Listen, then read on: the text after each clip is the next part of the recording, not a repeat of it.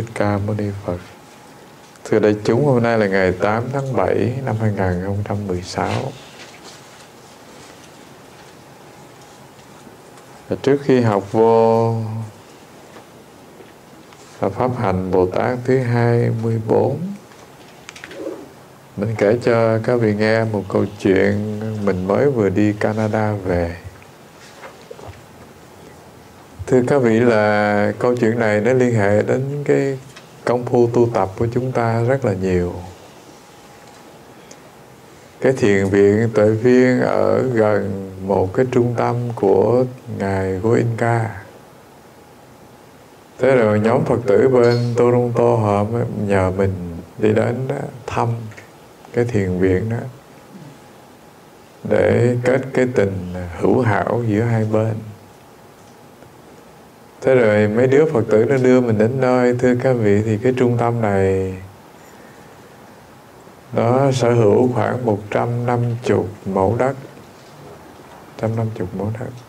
Trong một khu rừng rất là đẹp. Và họ có mặt khoảng hai gần hai chục năm rồi. Những ngày đầu cái sự sinh hoạt của họ nó rất là nó, nó rất là vắng vẻ chừng 15 20 người chỉ đó thôi. Thế rồi họ duy trì cho tới hôm nay thì một khóa tu khoảng chừng 90 người. Họ không thể nhận thêm được tại vì cái cơ sở của họ nó gần đó thôi. Đủ điều kiện khoảng 90 người, chừng 50 50 người nữ 40 người nam thôi.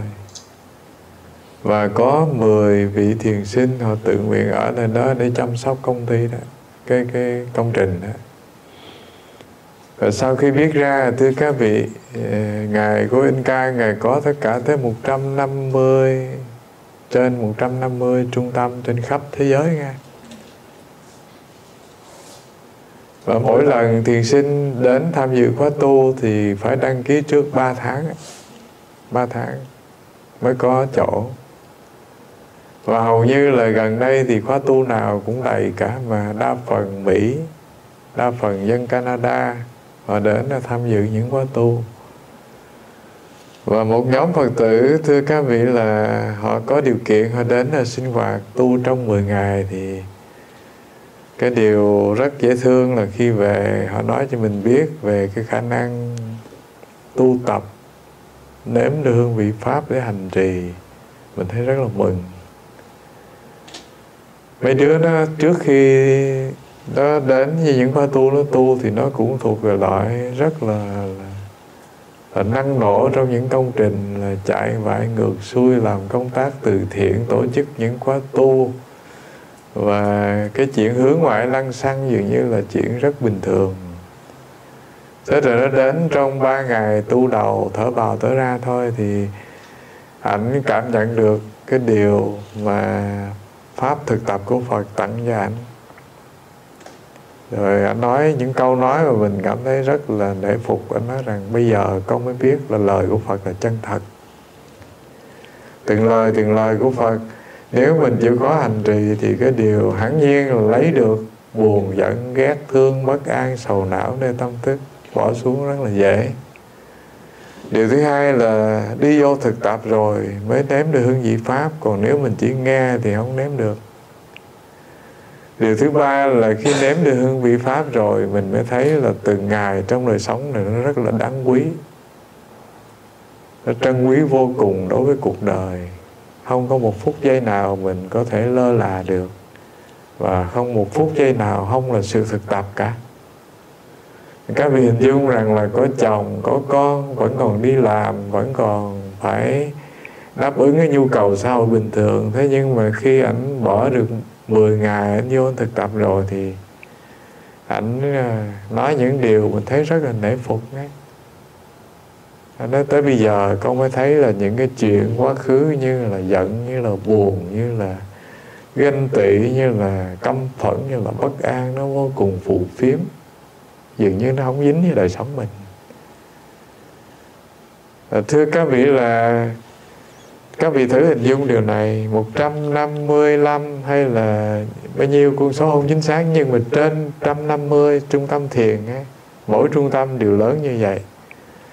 Và chúng ta biết rằng là thiền sư Vô Ca là một cư sĩ, ông nó mất mấy năm rồi. Thế nhưng mà rồi cái trung tâm thiền này giải pháp không phải là những vị giáo thọ, là các thầy, mà những vị cư sĩ.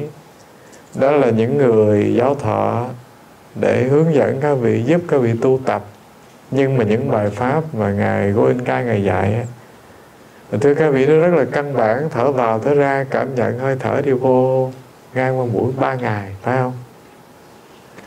150 trung tâm như vậy đều lấy một đều một lọt dạy như vậy thôi, không khác được 10 ngày. Ví dụ như năm nay các vị tham dự 10 ngày tu thì cũng gần đó bài pháp, cũng gần đó thức ăn, cũng gần đó cách hành trì. Sang năm nếu các vị tham dự thì cũng như vậy nghe. Và không phải một trung tâm mà 150 trung tâm đều một một pháp hành trì như vậy. Với chúng ta thì chúng chúng ta nghe, chúng ta chán lên, chán xuống thế nhưng mà thử hình dung rằng là thiền sinh mỹ, người canada, người úc úc cũng có. Và thưa, các vị họ đến là thực tập như vậy nhưng mà họ có được sự an lạc nhất định. Và không có thâu tiền, thâu bạn gì khi anh đi vào khóa tu cả.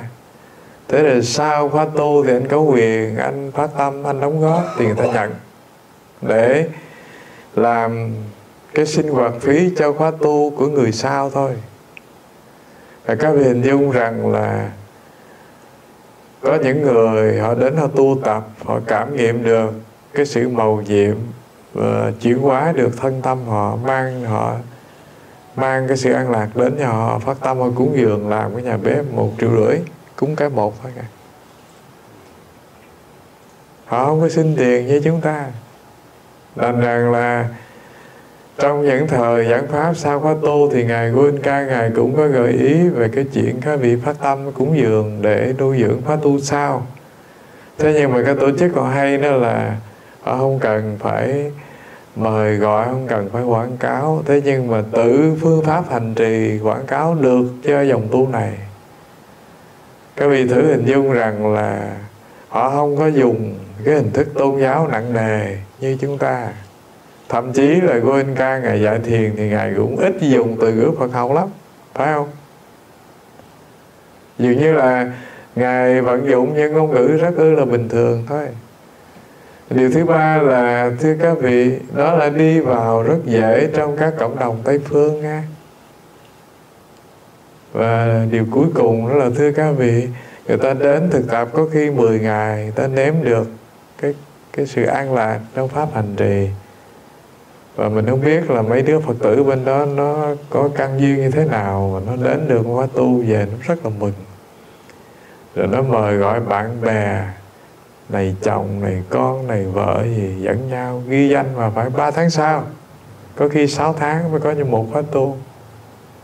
Và họ, thưa các vị, trong 10 ngày vô cùng nghiêm túc à không nhìn ai, không nói chuyện, thầm lặng, đi tới đi lui à anh chỉ nhiếp tâm, thiền tập thôi.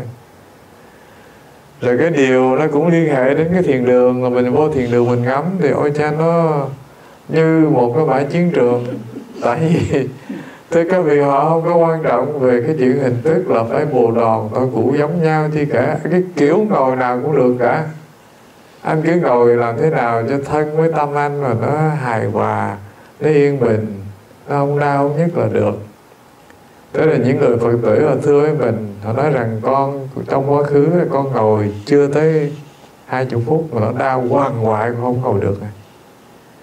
Thế rồi sau 10 ngày tu bây giờ thì con ngồi, có khi là hai tiếng đồng hồ trôi qua nhẹ nhàng, dường như là cơ thể con tật bệnh, nó biến vào nào không hay. Khi có được sự an lạc đi vô được một tầng định cạn thôi gọi là cận định thôi, thưa các vị. Thân các vị nó tự chuyển hóa nghe. Thân nó an tâm nó an, và một tiếng đồng hồ gì như không thấy bệnh hoạn gì cả. Trong khi đó thì, trước đó thì hai chục phút là đau quằn quại không thể ngồi hơn. Bây giờ thì ngồi rất bình thường, mỗi tối đều tọa thiền. Rất ư là đam mê. Và coi như thiền tập là là hơi thở thở vào, thở ra. Cái điều mình kể lên đây để khuyến khích đại chúng, thưa các vị, là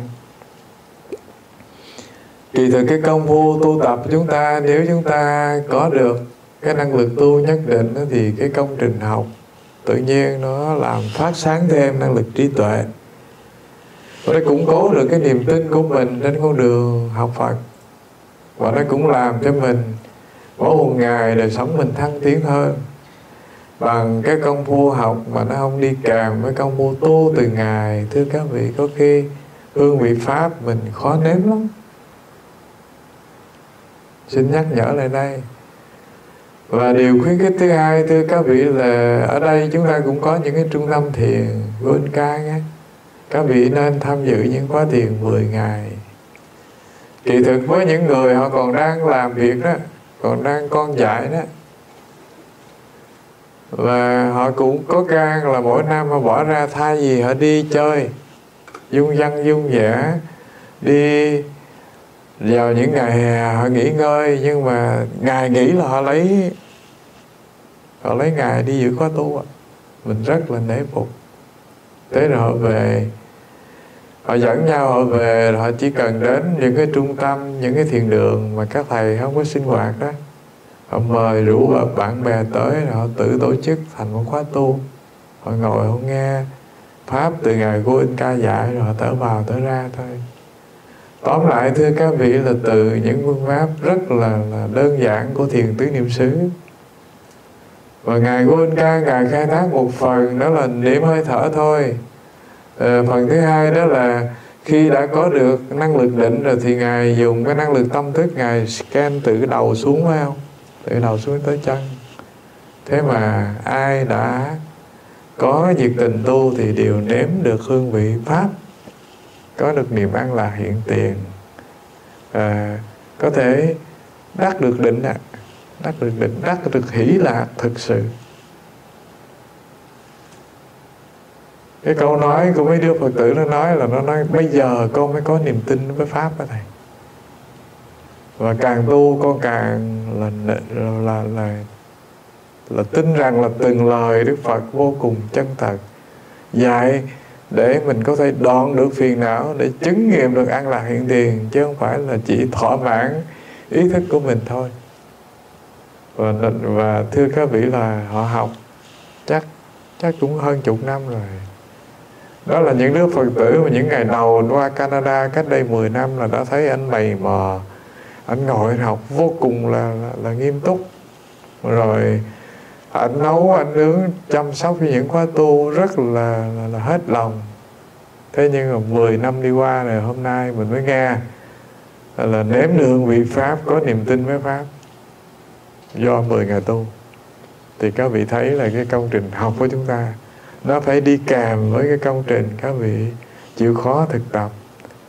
Chúng ta thì không có không có một cái điều kiện để tổ chức. Do vì chúng ta không có cái trung tâm và cũng không cần thiết. Tại vì chúng ta học pháp, chúng ta đến những trung tâm đó chúng ta hành trì. Nó đủ điều kiện để cho các vị hành trì nhé. Không phải nấu nướng, không phải làm cái chi cả, chỉ mỗi việc là luyện mình vô đó rồi là làm một việc là tu thôi. Không nói năng, không cần giao tế, không cần nhìn ngắm ai. Không cần lo lắng chỉ chuyện chi cả và nếu mà mình không có đủ tiền thì ờ, khóa tu này mình không có đóng tiền. Sau khi mình về, đợi khóa tu sau cũng chẳng ai bắt mình. Nếu mình không đủ tiền, chẳng ai bắt mình phải làm cái chi ghê gớm cả. Chỉ tạo cái điều kiện vô cùng thuận lợi để các vị thiền tập thôi. Cho nên, thưa các vị là xin khuyến khích các vị, những người phật tử có điều kiện thì các vị hãy đến đó, thực tập một khóa. Nó không có nặng nề về hình thức nghe không có nặng nề về hình thức tôn giáo, chi cả dường như là trong thiền đường không có thờ phật, thờ chi hết. Đơn giản chỉ là pháp thực tập thôi. Rồi sau khi mình thực tập, mình nếm cái vị pháp rồi thì mình mới thấy là những điều ông khai triển có khi là tứ diệu đế, có khi bác chánh đạo, vân vân những cái ngày cuối của khóa tu thì quả mai còn nghe chút ít từ ngữ Phật học thôi. Và như vậy cho nên nó mới đi rất rộng.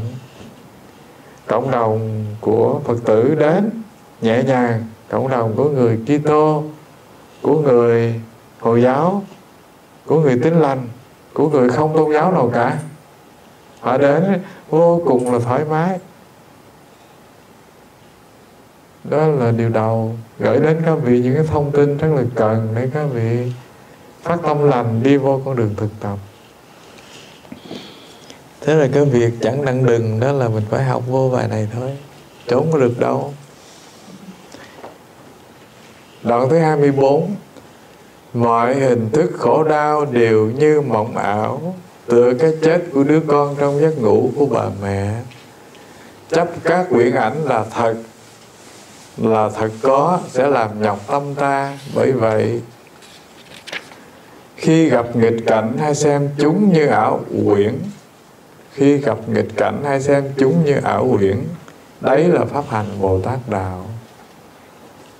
Thưa các vị, cái pháp hành này là quán như quyển mọi thứ giữa trần đời này như mộng quyển cả. Ờ, đúng thực nó là như vậy. Ví dụ như các vị đủ các vị thấy là mình mất đứa con, mình khóc hoàng hoạn mình khổ đau, vô cùng là tội nghiệp. Thế rồi giật mình thức giấc thì đâu có ai chết chóc gì đâu. Rồi từ cái điều này suy nghiệm ra, thưa các vị, là mình sống giữa trần đời này. Có khi mạng sống mình rất ngắn, rất mong manh. Thế rồi rồi đời sống hiện tại này, các vị có mặt trong một cảnh giới khác thì có khi đời sống nó dài hơn gấp một một trăm lần. Rồi có khi mình trú ở trong cái cảnh giới không có hình thể sắc chất này, mình nhìn lại cái kiếp sống mong manh này một trăm năm, mình thấy, ồ, sao nó tức cười vậy? Mình sẽ thấy cái kiếp sống mình là giả nghe, còn cái kiếp sống của một vị thiên đế, nó dài tới 100 năm, một một nghìn năm đó thì kiếp sống thật, rồi mình nhìn lại quá khứ lăng xăng giữa trần đời này, buồn vui khóc cười hận giận bất an. Vì cái chuyện xa người thân, vì cái chuyện người thân mất, vì cái chuyện nọ chuyện kia mình thấy tức cười. Trong khi nó rất là mong manh. Thưa các vị chuyện này, do vì mình không có tự tự giác, mình không có thấu được cái kiếp quá khứ, mình từng ở đâu, mình không thấy rằng là nhân duyên của mình kết hợp với những người gần gũi đây là nợ hay là duyên? Là họ tới họ đòi mình hay là tới họ trả mình đâu có biết. Chứ chi mà mình có được cái năng lực thấu suốt được quá khứ thì các vị nhìn ra cuộc đời mình lao sao ở đây, chìm ngập trong giận, trong phiền, trong hải hùng lo âu, hoặc là trong bất hạnh khổ đau, các vị sẽ thấy tức cười. Đó là như vậy và pháp như quyển quán này. Thưa các vị, đó là pháp nền tảng cho dòng chảy của pháp đại thừa nhé. Trong truyền thống mật thừa, thưa các vị các vị sư truyền thống mật thừa đều phải đi ngang trung quán, tức là quán không. Rồi mới đi vô pháp hành của các vị mật thừa để chứng nghiệm có khi hiện tiền đó là thần thông, có khi đó là nhiều cái diệu dụng từ tâm của họ thành đạt. Do vậy cho nên, như quyển quán, nó thông đồng luôn cả pháp tu của truyền thống đại thừa và của mật thừa. Đó là điều thứ nhất mình gợi ý gợi ý ra nơi đây để các vị nhận diện về cái pháp hành của chúng ta.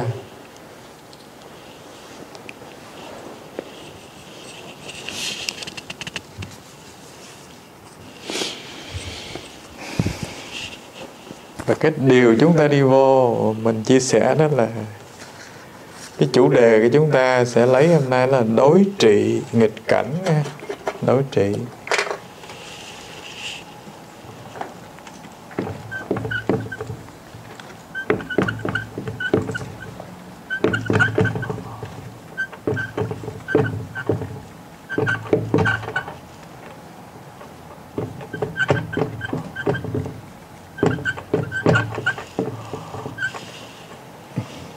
Là pháp hành thứ 24.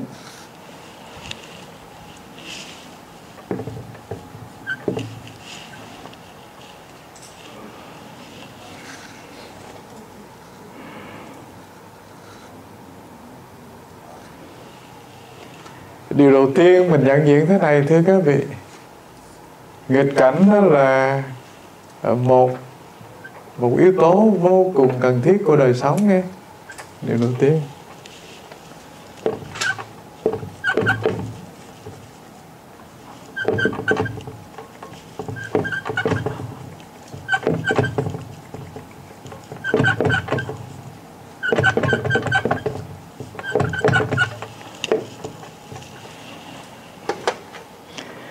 cái đối nghịch trong cuộc đời này nó làm thành đời sống á. Không ai chạy thoát được cả. Đây là nguyên tắc mà. Trong thiên nhiên vũ trụ và hữu thưa các vị, nếu có âm thì có dương, có ngày thì có đêm. Trong đời sống sinh vật thì thưa các vị, có nam thì có nữ. Rồi, trong dòng giải tâm linh thì có thiện thì có ác nghe đó là nguyên tắc của đời sống, nó vận hành như vậy, nó làm thành nhau à. Nó có bóng đêm để cho ban ngày hiển lộ, rồi nó có ban ngày để cho bóng đêm. Có điều kiện để vạn vật nó chìm vô giấc ngủ. Và nó có kẻ làm ác để nổi bật cái bậc trung kiên hoặc là người hiền nhân và cụ thể hơn, thưa các vị, nó có những cái bất hạnh trong đời sống. Các vị để hạnh phúc nó nổi lên bằng không có bất hạnh thì các vị cũng nhàm chán vô cùng đó với hạnh phúc. Ví như cuộc đời ta, từ sinh ra cho tới lúc chết, ta không ném được cái chút gì khổ đau và lo âu cả. Thế thì ta cảm thấy dường như là đời sống nó trống trải, nó nhạt nhẽo, nó không có cái gì lý thú cả. Do vì hạnh phúc nó rất mong manh kiếm rất khó và nó đi thì rất vội vàng. Do vậy cho nên, thưa các vị người ta mới chạy vài ngược xuôi để tìm được hạnh phúc, tìm được niềm vui, tìm được khoái lạc. Nó là như vậy.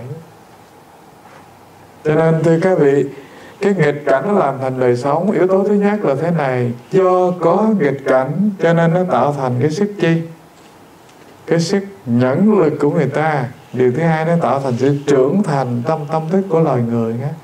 Không nghịch cảnh, không làm trưởng thành được. Tất cả những con người mà họ làm ra được những công trình kỳ vĩ thường thường họ là những người trải nghiệm rất nhiều cái nghịch cảnh khổ đau, cho nên họ trở thành những người trưởng thành, đứng đầu sóng ngọn gió. Còn chúng ta được nuôi dưỡng trong cái điều kiện vô cùng là tốt đẹp, chưa từng đối phó với những khó khăn cho nên thưa các vị có khi tâm thức của mình nó rất là rất là ốm yếu. Ốm yếu lắm. Chưa có một người lãnh đạo nào tài ba mà không từng sụp đi sụp về bao lần có một câu chuyện rất là là lý thú về chuyện này mình kể cho các vị nghe. Cái anh kia anh nhìn thấy con ve sầu đó nó chui từ dưới đất lên cái nó bấu vô vỏ cây nó, nó nứt cái vỏ ra và nó nứt rất là chậm nghe từ từ từ từ rồi nó mới bung mình ra. Anh thấy sao tội nghiệp quá, nó làm gì nó run rẩy. Và nó bằng mọi cách mà nó không thể vượt thoát được. Cái vỏ con ve sầu cứng đang bao bao bọc. Cái anh mới vì lòng từ bi anh mới kiếm những cái cây cây nhíp đó. Rất là mỏng manh anh mới kéo xé cái vỏ của cái con ve sầu để cho nó bung ra cho cho cho nhanh, cho đỡ tội nghiệp rồi thế rồi cái bàn tay từ bi ảnh vô hình dung, vô hình trung là ảnh làm nên cái chuyện tội nghiệp, đó là làm cho con ve nó ra làm sao? Không chết và nó bị khuyết tật nghe cánh của nó không thể vươn ra dài được, nó trở thành nó ốm yếu, khuyết tật không thể bay được. Tại vì nó không có vận lực hết sức để nó làm vỡ cái vỏ đó. Do vậy cho nên cái nội lực của nó không có khả năng là vận hành trong cơ thể của nó để làm cho cánh nó đủ dài, cơ thể nó đủ khỏe. Và do vậy cho nên tới chừng anh xé cái vỏ ve ra thì nó cũng bay khập khiển bay không được. Không kêu được cái tiếng ve sầu. Và cuối cùng thì tật bệnh và cuối cùng chết. Thế thì thưa các vị, từ cái ví dụ nhỏ đó, các vị nhìn khắp hiện tượng thiên nhiên thì nghịch cảnh nó làm thành đời sống là như vậy đó. Ngay đời sống bình thường, cơ chế sinh lý các vị nó cũng có một cái sự thôi thúc nhất định để làm thành cái sự trưởng thành nghe nó làm thành cái dòng chảy liên tiếp để nối tiếp từng thế hệ con người đến với hành tinh này. Và tóm là hai điều rất căn bản là những nghịch cảnh này nó mới làm cho anh trưởng thành về thân, sinh lý và về tâm lý của anh. Điều thứ ba là những nghịch cảnh nó làm trưởng thành đời sống tâm thức, tâm linh của anh, tâm linh của anh. Không có nghịch cảnh thì không có thể có những bậc bồ tát và đức thế tôn mà. Thậm chí thành tựu hóa phật rồi, cũng còn bao thách thức đó chứ. Ví dụ như đức phật, cái vị hình dung rằng là cho tới tuổi gần 80 rồi mà cung đồ mà môn đồ nó định xót ngôi. Tức là ngài đề bà đặt đá. Kêu thế tôn là ngài già rồi, thôi ngài lui về nghỉ ngơi đi, để tôi lãnh đạo tăng đoàn thôi, và dùng nhiều kế mưu chứ có phải là chỉ nói một lời thôi đâu. Thậm chí là khích bác, thậm chí là khiến nhà hoàng đế a xà thế thả voi sai để dậm chết đức thế tôn. Bằng lời lẽ thuyết phục, ngài cồ đàm để ngài nhường lại giáo đoàn cho đề bài đặt ra lãnh đạo, thế tôn nói không. Chư tăng có quyền quyết định về điều này, ta cũng không hề là một vị lãnh đạo. Ta chỉ đơn thuần là vị đạo sư hướng dẫn sự tu tập. Và đức hạnh của ông thì chưa đủ sức. Cái này đại chúng người ta, hội họp người ta tôn phụng thôi chứ không cần ông phải đòi cái chi cả. Nếu như bậc trưởng lão đủ đức hạnh để cho chúng lương về tự nhiên chư tăng sẽ tôn phụng vị ấy là vị trưởng lão, chứ không nhất thiết phải làm cái công việc bầu cử gì cả. Ở quy chế và lam là như vậy nghe. Đạo hạnh làm tỏ sáng nhân cách và nhân cách tỏ sáng, có khả năng thuyết phục thì mười phương tính chúng người ta quy về, chứ không cần phải là cầu kỳ màu mè gì cả. Thế rồi đề bà nạc đa cảm thấy thuyết phục ngài cụ đạo không được, cho nên đến nói với hoàng đế a sa thế là, bệ hạ làm vua. Nhân gian, tôi làm vua trong đạo, chúng ta phối hợp lại để làm thành một cái công cuộc cách mạng. Bây giờ đầu tiên là giết vua cha đi. A sa thế nghe lời giết vua cha. Rồi, bản thân của đề bạc đạt ra thì muốn làm giáo chủ thì phải giết ai? Giết thế tôn á, thì các vị thấy là cái chuyện học trò hại thầy là cái chuyện đã có từ xưa, chứ không phải là xã hội này mới có nghe. Xô đá. Để cho ngài cụ đàm chết. Thế nhưng mà đá ở trên cao xô xuống thì, thưa các vị, nó lăn qua rồi nó vỡ đi. Thành ra ngài cụ đàm ta không có hề hấn chi. Chỉ bị một mảnh đá văng trúng chân chảy máu. Rồi thế rồi thả voi ra. Cho voi uống rượu thiệt sai để dậm chết đức thế tôn, cuối cùng không chết. Thế thì thưa các vị, từ thân phận phàm phu của chúng ta cho tới loài động vật, cho tới hiện tượng thiên nhiên, cho tới tâm lý bên trong của chúng ta, cho tới các bậc thánh nghe đều lấy nghịch cảnh làm gì? Nghịch cảnh làm công trình phát triển năng lực trí tuệ, phát triển nhẫn lực, phát triển đời sống tu à cho nên mình tu mình đừng nghĩ rằng là tại sao tôi tu rồi còn nhiều khó khăn thứ không. Nguyên tắc đời sống là anh càng leo lên cao thì đoạn đường anh đi, nó càng đầy hiểm nguy. Đứng mặt đất thì rất thăng bằng, nhưng mà leo lên thang thì sao? Từng bước lên cao, từng bước cẩn trọng là như vậy. Đây là điều đầu tiên gửi đến các vị. Để các vị đừng có mở miệng than thở vì sao tôi tu rồi có nhiều nghịch cảnh đến chuyện đó bình thường.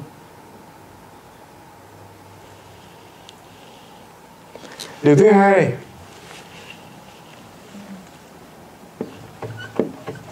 Hai hướng đi nha.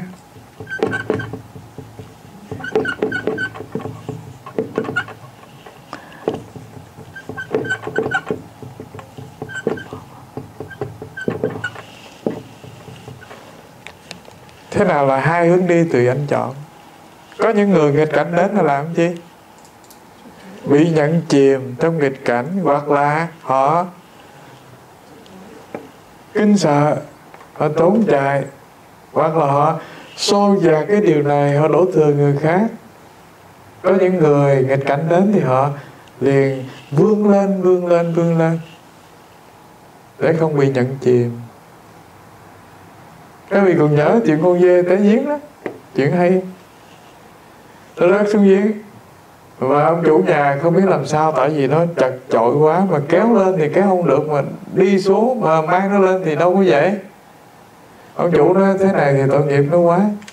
Để nó chết đói như thế này, ở dưới kia nó kêu ve ve nó chết, thế này tội nghiệp. Thôi bây giờ mình chôn sống luôn, xuống đất đổ xuống.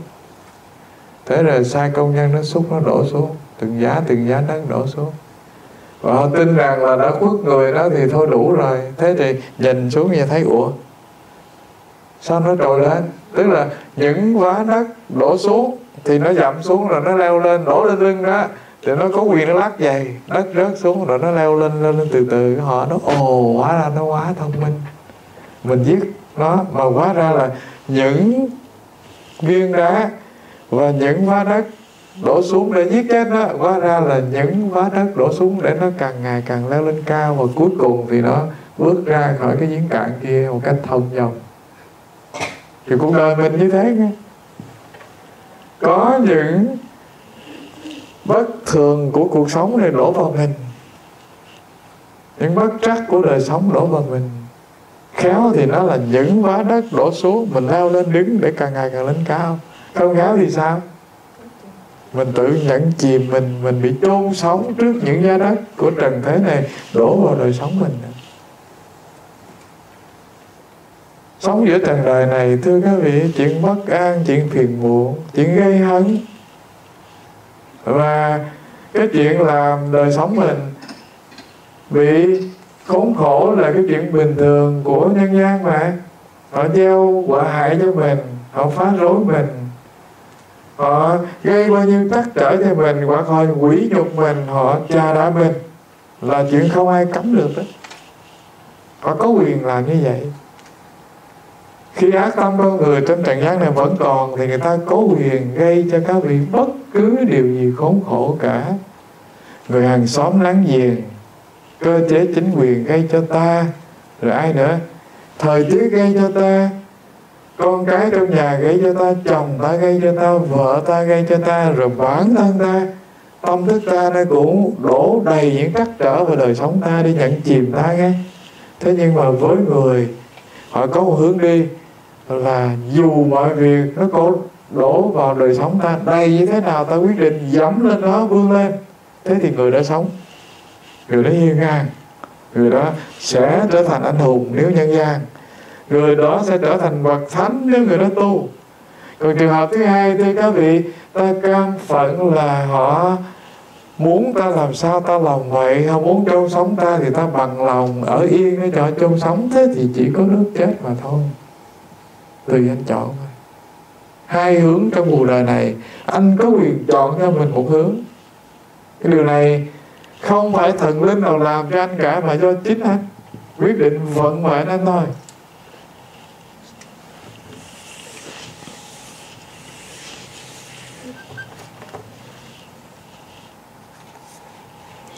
Điều thứ ba. Từ cái câu này các vị nhận diện ra một điều. Điều chi? Mọi mọi hình thức khổ đau đều như mộng ảo. Tựa cái chết của đứa con trong giấc ngủ của bà mẹ.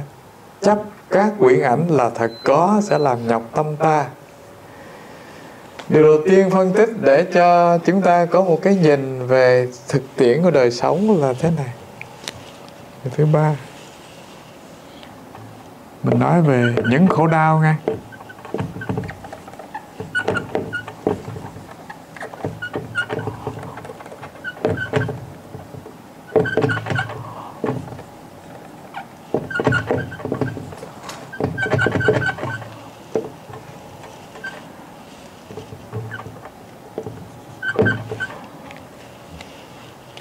những khổ đau trên trần thế này.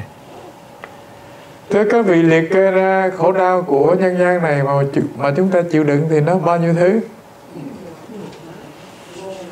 Nó mênh mông, không có biết đâu và kể hết tên. Thế nhưng mà có thể chia ra làm hai loại thôi.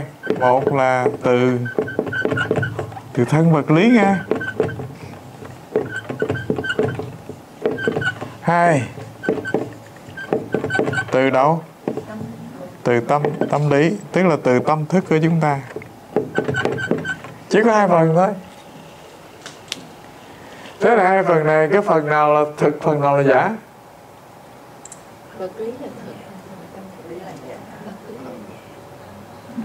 Từ thân vật lý thưa các vị thật hơn tâm lý nghe. Tại sao thân vật lý nó thật hơn? Ví dụ như mình bị một vết cắt vào tay vào chân hoặc mình đau đầu hoặc nhức nhức răng. Tất cả mọi thứ tật bệnh nó đến với thân các vị rất thật. Tại vì cơ thể các vị, nó có một cái thông báo trung thực vô cùng nghe. Còn tâm lý các vị thì nó rất là giả vờ. Do vậy cho nên thế tôn dùng một cái ví dụ rằng là mũi tên thứ nhất nó bắn vô ta rồi, thì ta bắt đầu là kinh sợ. Khi mũi tên thứ hai nữa bắn vô cùng một nơi nơi hình hài ta thì nó không phải đau gấp hai mà nó đau gấp bao nhiêu? Gấp 10 gấp trăm lần do vì cộng với cái nỗi đau của mũi tên thứ hai đó. Đúng ra thì nó không đau nữa, tại nó đã đau rồi. Thế nhưng mà với ta thì vừa sợ nè, cái nỗi sợ nó gia cố cho nỗi đau. Do vậy cho nên mũi tên thứ hai nó vô rồi thì nó đau nhiều hơn. Điều thứ hai là gì? Lo âu, giận dữ quán trách, căm hận thưa các vị nó nhiều trạng thái tâm hành nó gia cố cho cái đau của thân vật lý cho nên thưa các vị đau thì có thiệt và khổ thì có khi nó rất giả vờ nghe các vị còn nhớ câu chuyện dễ thương là chuyện lâu dài đó thằng bé học sinh nó tới nó mướn một căn phòng. Ông chủ nói cái này tôi cho anh mướn rất dễ nhưng mà cái quan trọng là anh hãy thỏa, thỏa thuận với cái ông già ngủ tầng dưới á. Anh tầng trên ông tầng dưới mà. Ông già nói ta rất quan hỷ khi có con đi vào đi ra nó làm vui cửa vui nhà nhưng mà con nên nhớ rằng là ta bị đau tim à. Con làm mọi việc nhẹ nhàng nghe. Thế rồi nhỏ nói vâng cháu hứa rằng là cháu sẽ làm mọi việc rất là nhẹ nhàng không để đến nỗi là cũng phải ôm trái tim mà ngột ngạt. Thế rồi nó đi chơi về khuya, cái nó cởi dài nó ném vô góc nhà cái đùng. Cái nó chợt nhớ ối trời. Mình đã hứa với ông già là không làm những cái việc nó gây tiếng động và làm cho cụ giật mình kinh sợ, cho nên nó cởi chiếc giày thứ hai nó để nhẹ nhẹ xuống. Lỡ chiếc thôi chứ chẳng lẽ liền thêm chiếc thứ hai? Thế rồi cho tới ba giờ khuya ông già ông ôm trái tim lên ngột ngạn nói con à con còn chiếc thứ hai của viện dùng cho bác đi. Bác chờ hoài, không thấy liền, cho nên bác sợ quá. Thổn thức ngủ không được. Trong khi thì nó đã liền rồi. Dạ, thưa các vị, cái nỗi sợ sệt nó đến với chúng ta, nó là như vậy nhé. Vừa lo lắng vừa bất an, và thưa các vị, nó tạo thành một cái nỗi cái nỗi khổ cho nên đau thì có thiệt và khổ thì do tâm thức mình tạo nhiều hơn là cái đau có thiệt.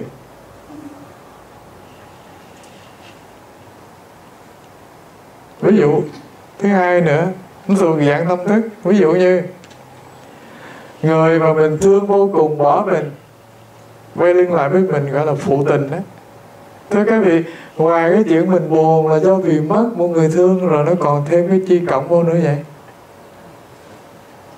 Thưa các vị quá khứ những ngày đầm ấm nè nào là kỷ niệm vàng son nè nào là những ngày những tuần trăng mật vân vân. Nào những lời uh, dịu dàng sống với nhau vân vân đó cuồn cuộn nó tràn về. Cho nên thưa các vị tất cả những ký ức của ta đó cùng một lúc nó tràn về nó gia cố cho cái nỗi đau bị mất mát. Do vậy cho nên thưa các vị thà là chết quá cho rồi cái phụ tình rồi ta chịu không nổi, phải không? Chết thì nó khổ đau, vì mất người thương. Nhưng mà thưa các vị, sau đó thì mình phô pha, mình ngu ngoai dễ. Nhưng mà người còn sống sờ sờ đó, mà quay lưng lại với mình là sống với cái cái ả nào khác thì tôi cao huyền tức chịu không nổi nghe. Vì mình suy nghĩ là thế này, thế nọ, thế kia. Dù rằng lấy củi một đó, nhưng mà bà để trong gương thì nó củi một. Nhưng mà đụng tới thì nó trầm hương của bà, chứ không phải củi một bà và nó làm cho lòng mình cay đắng là như vậy. Tại vì tất cả những cái ý nghĩ của các vị, cảm xúc của các vị, nó cùng nhau đó dội về để nó làm thành cái nỗi đau thực sự. Tóm là một điều, thưa các vị, nỗi đau của thân, vật lý, nếu nó có cái khổ đi vô là từ tâm thức anh gia cố để làm thành cái khổ nỗi đau ở tâm thức, ví dụ như mất mát, ví dụ như thất tình hoặc thất tiền, vân vân, sẽ dĩ nó làm khổ anh nhiều tháng ngày. Là do vì anh suy nghĩ về nó, anh hồi ức về nó, anh tưởng tượng về nó, anh đem những ký ức của anh cùng dồn về để gia cố cái nỗi đau này nó càng ngày càng nặng. Do vậy cho nên cuối cùng anh chìm chết trong nỗi khổ đau thôi thế thì những nỗi khổ đau trần thế, thưa các vị lần nào nó có nghe. Nhưng mà đa phần nó đều không thiệt. Nó do ý thức của chúng ta dệt nhiều hơn là bản chất thực của nó. Bản chất thực của nỗi đau nó chỉ xảy ra đó là nỗi đau của thân vật lý thôi. Chứ còn những nỗi đau thuộc về phần, về tâm lý thì thưa các vị, nó đều do các vị dệt thành. Bản chất của nó đều không thực. Ví dụ thứ ba dễ hiểu là thế này. Cũng là cái tình trạng thất tình á. Thế nhưng mà cái người tình của mình là người dễ thương thì mình đau, mình khổ nghe. Mà người tình của mình là cái tai nát rượu hoặc là ta du côn. Hay là cư xử rất là thô bạo, thế thì mất 10 cái tình ta cũng không khổ nữa. Còn mừng thêm nữa chứ. Thế thì bản chất của tất cả những cái thứ thất tình nó không có cái khổ gì trong đó cả. Nếu mình mặc nhiên chấp nhận, nó đến rồi nó đi như vậy thôi thế thì, thưa các vị, tự nhiên mình gỡ được cái nỗi đau tâm thức, gia cố cho cái nỗi đau hiện thực. Ý thứ ba, thưa các vị, đây là những vấn đề nó tuân theo cái quy luật là chi? Quy luật đến đi vô thường sinh diệt nghe thân sinh lý của các vị nó cũng có một cái chu kỳ bệnh rồi hết. Chưa có ai mà bệnh mà không hết mà nếu không hết thì đi luôn, thì chết thôi, chứ cũng chẳng có chim mà ghê gớm. Thế thì cái trạng thái thân sinh lý nó cũng có một cái chu kỳ đi ngang đi ngang qua. Và nó luôn biến động, chứ nó có dừng lại một chỗ đâu. Nếu nó đau, thì nó hết đau nghe. Là trạng thái tâm lý, thưa các vị, tức là tâm thức các vị nó cũng luôn như vậy, nó bồng bềnh, nó sinh diệt nó luôn đi ngang qua. Chưa hề dừng lại. Thế nhưng mà sở dĩ ta gọi là những khổ đau này không chịu nổi là do vì nó đi ngang qua, ta không chịu để cho nó đi. Ta kéo nó về thôi. Gọi là cái thú đau thương của trần đời. Ai cũng muốn ném đó, ném đi, ném về để có chút hương do vậy cho nên, thưa các vị, cái khổ của thân nó đến rồi nó đi thì dễ dàng, nhưng mà khổ của tâm nó đến nó không chịu đi là do ta. Trong khi bản chất thực của nó thì nó rất là rất là mong manh, rất là phù du, đến đi sinh diệt. Nó không thực là như vậy. Bản chất của nó vốn là không thực.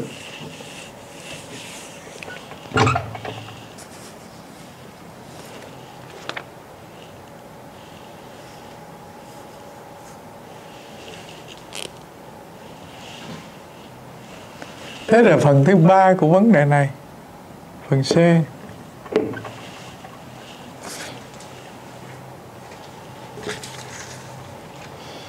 mình vừa nói là nó không thật.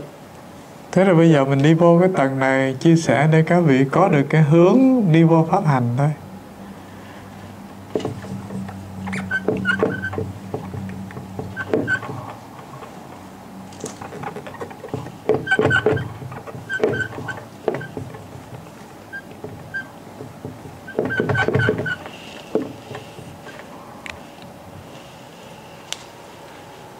Mình dùng hai cái nhìn nhìn về vấn đề mộng và thực của khổ đau nghe cái nhìn thứ nhất. Đó là từ năm quẩn.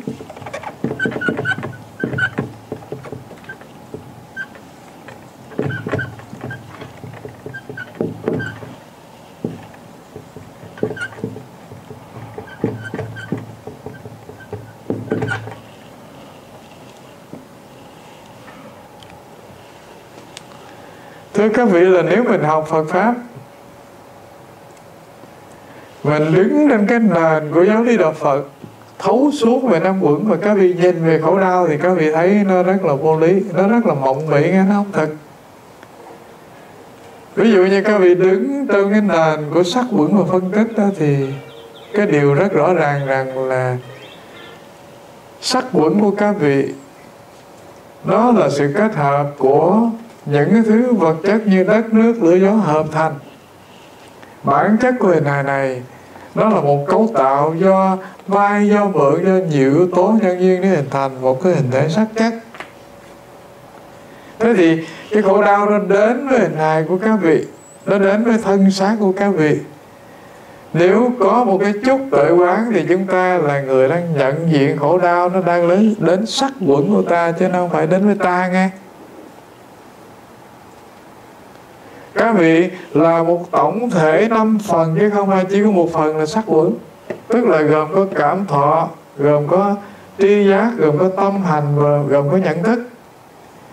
Các vị gồm cả những buồn vui nè, gồm cả những xúc động là gồm cả những ký ức của các vị là những toan tính, những nghĩ suy. Thế thì nếu cái khổ đau đó hoặc vết thương nó đến với thân, thì nó chỉ đến với một phần của năm quẩn chứ nó có phải đến với toàn bộ ta đâu đơn giản, ta chỉ cần trẻ nhỏ đời sống ta ra làm năm phần thì ta biết rằng cái phần nó đến với ta, nó là phần của sắc quẩn. Thế thì bốn quẩn còn lại nó dính với nhau? Thế thì trên cái nền giáo lý mình nhìn nhận từng phần khổ đau đến thì các vị thấy rõ ràng rằng là nó rất bé nhỏ so với một đời sống là con người đây.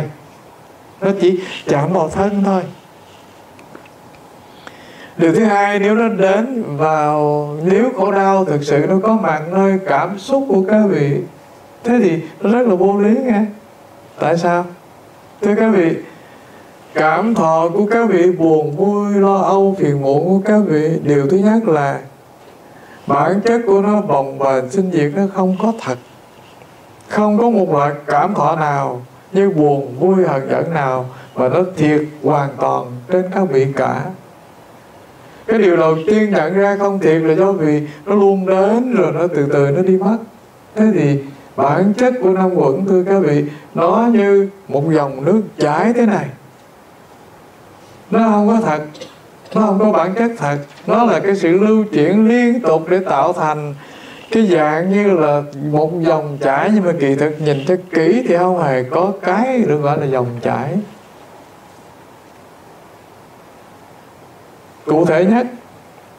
Thưa các vị, ví dụ như mình dùng bằng con mắt nhà khoa học, mình nhìn vào nước đó thì nước nó không phải là một cái dạng là tuôn chảy cuồn cuộn vậy, mà nó chỉ là những đơn, những hạt nguyên tử nối kết lại thành nước mà thôi.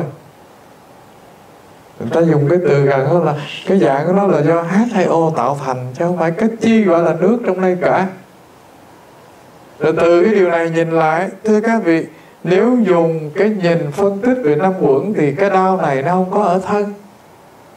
Đau này nó không có ở cảm thọ. Đau này nó không phải có ở trong cái sự à, ký ức của các vị ghi nhận của các vị. Và khi các vị tách được năm uẩn ra và nhận diện cái cái đau nó có mặt ở phần nào trong năm uẩn thì các vị thấy dường như nó rất mộng mị nó giả vờ. Nó không có thật. Đây là điều thứ nhất từ năm quẩn nhìn vào khổ đau khổ đau nó không dính chi với cái phần sắc thọ tưởng hành thức quẩn của các vị cả.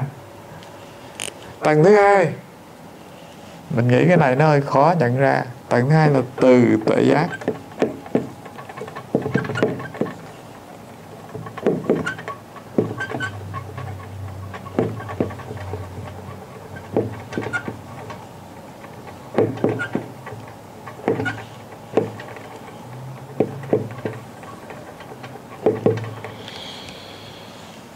mình chưa nói đến tự giác thâm sâu nghe. Ví dụ, mình vừa kể cho các vị nghe đức phật tử đó. Trong quá khứ nó chỉ ngồi được hai chục phút là nó quằn quại trong cơn đau, không thể ngồi hơn được.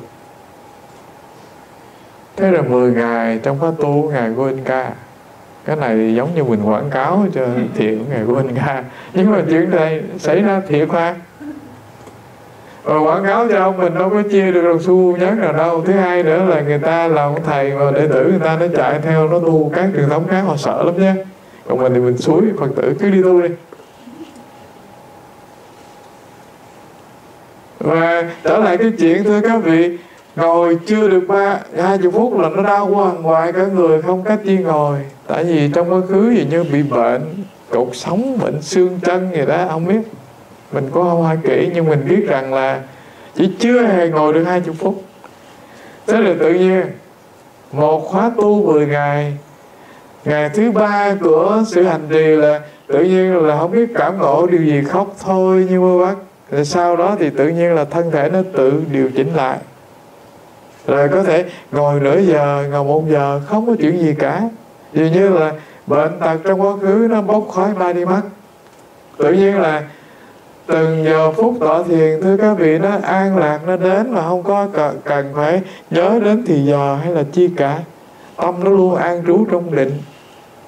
Thế thì các vị hình dung rằng là từ tuệ giác quán chiếu thì cái tầng thâm sâu nhưng mà từ cái mức độ rất cạn.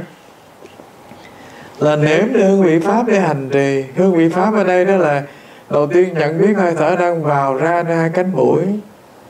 Và có được cái định lực ban đầu và vận dụng ý thức để có thể quán chiếu toàn thân này là một đối tượng bị ta nhìn nhìn bị ta nhận diện bị ta đang scan đó, từ đầu tới chân. Ta là năng lực tuệ giác đang nhận diện về thân năm quẩn ngang đây thôi. Thưa các vị cái đau của thân biến mất. Và cái đau sẽ gì đến biến mất là do vì tâm được an lạc cho nên bốn tầng còn lại của năm quẩn như thọ tưởng hành thức thư, các vị nó cũng theo đó, nó yên bình, tĩnh lạc nó không có quậy phá, nó không có chống trái, nó không có những cái bức xúc gì xảy ra nên hình hại, nơi hình hại năm quẩn của các vị cả. Thế thì hai tầng, thưa các vị, khổ đau, ở mức độ phàm vô ta thì rất thực nghe. Ở mức độ tu có được chút năng lực thì nó đã bốc khói bay đi còn nếu đi vào cái tầng sâu của tuệ quán được thì các vị thấy dường như là nó không có thật nó giả vờ. Đơn giản một điều, thưa các vị, ngang cái lý mà các vị thấu đạt được thì nỗi đau của hình hài hay là khổ đau của thân và tâm này, nó vẫn bị bốc khói bay đi rồi. Thế nào là hiểu trên lý? Các vị chỉ cần nhận diện là năm uẩn là đối tượng bị thấy, bị nhận diện, bị nhận biết. Còn các vị là năng lực tự giác, đang quan sát thấy thân năm uẩn đang nhìn thấy buồn vui, nhìn thấy nỗi lo âu, bất an và sầu muộn đang cuồn cuộn chảy trong các vị. Tất cả những điều đó nó vẫn hiện hữu bình thường nghe những lo âu, những phiền muộn, những thắc thỏm, những bất an, những sầu tuổi nó rất là tự nhiên nơi các vị, nơi mọi con người.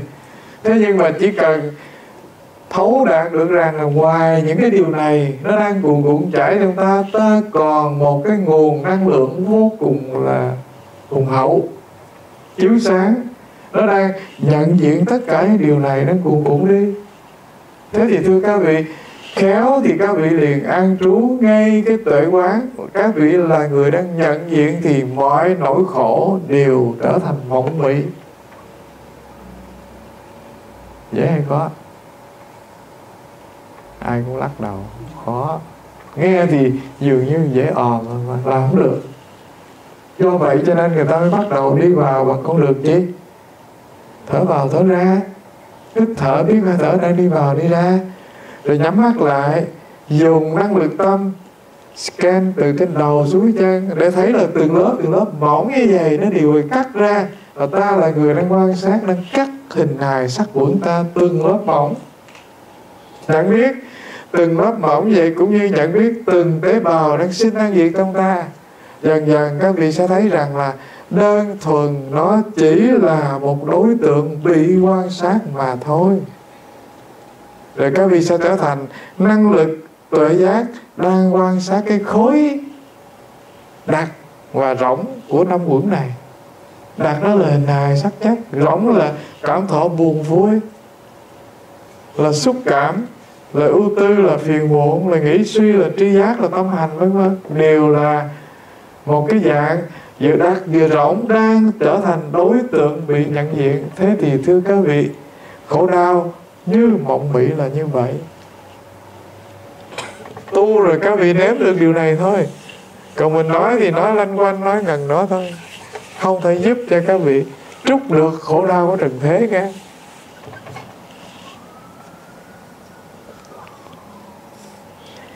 điều thứ tư, mời gọi với nhau làm một việc.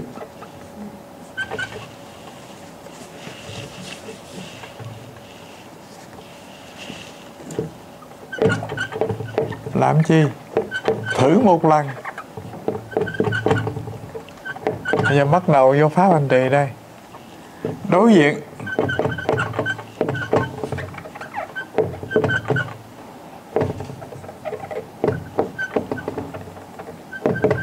Thử một lần làm điều này coi.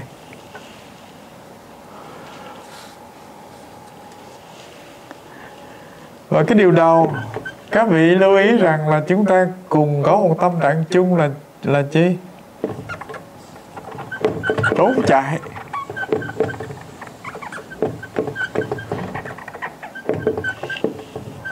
Tức là không bao giờ mình có khả năng đối diện được với cái nỗi đau đang khởi lên trong tự thân. Mình, kỳ thực là không phải mình sợ khổ đau nghe mà mình sợ cái ý tưởng của mình về nỗi khổ. Ví dụ như cái cơn đau nó đang đến với mình ví, ví dụ như cơn đau tim đi.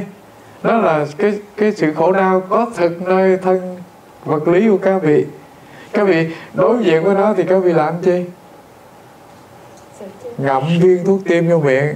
Và lúc đó thì thưa các vị cái khổ đau của cái cơn đau nó đang quằn quại nó đang nghẽn máu cơ tim, nó đang làm cho các vị ngột ngạt khó thở. Đây là khổ đau có thiệt thì ta làm được việc đó là lật đật lấy một viên thuốc tim ngậm vô và hai phút sau hoặc một phút thôi là đó. Động mạch các vị nó giãn ra thì cơn co thắt của tim nó liền xuống liền ngay. Thì cái điều thực tiễn ra đây, thưa các vị, nỗi đau có thực của hình hài vật lý thì các vị không có trốn chạy, các vị trị liệu ngay.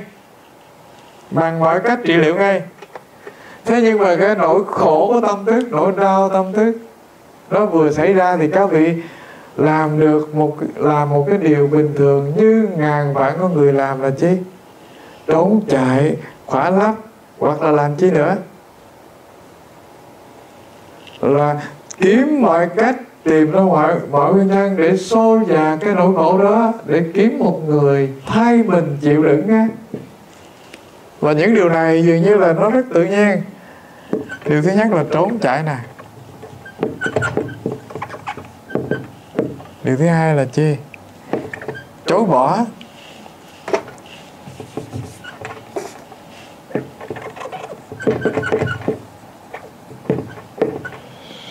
Điều thứ ba là khỏa lấp.